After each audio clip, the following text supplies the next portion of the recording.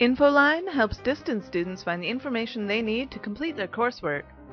Visit the Infoline webpage by going to the UVic Library's homepage and then selecting Hours and Locations, Mearns Center and McPherson locations, and scrolling down to click on Infoline.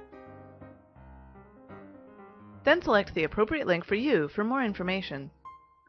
Infoline can loan you any circulating material held in the UVic libraries, including books, articles from journals, magazines, or newspapers, items requested through interlibrary loans, and items in your distance education course packages that are marked as available through Infoline. They can also help you improve your research strategies, choose the best database, and create proper citations and bibliographies so you don't have to go out on a limb. Check out their collection of online tutorials to get a grasp on things.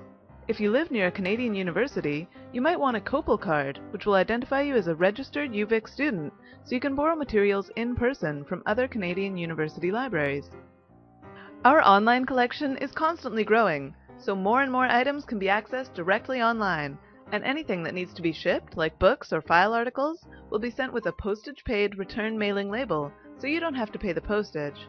And don't worry, we don't use carrier pigeons, so your items should arrive within a few days. For more help, visit the Infoline page, contact Infoline, or watch more help videos, like navigating the library website, subject guides, and search tips. Good luck!